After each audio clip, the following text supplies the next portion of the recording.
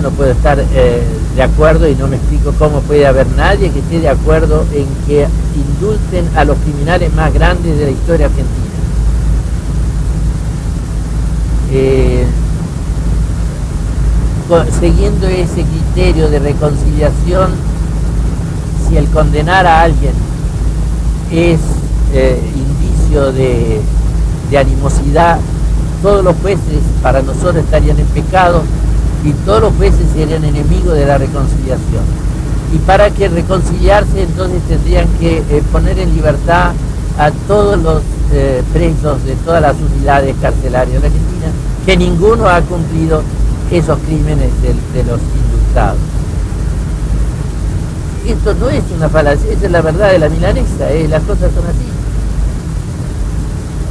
no se reconcilia, no se cura un cáncer poniéndole un curita, una curita arriba, no se reconcilia eh, una sociedad muy herida eh, eh, haciéndola el avestruz y tapato, acá no pasó nada.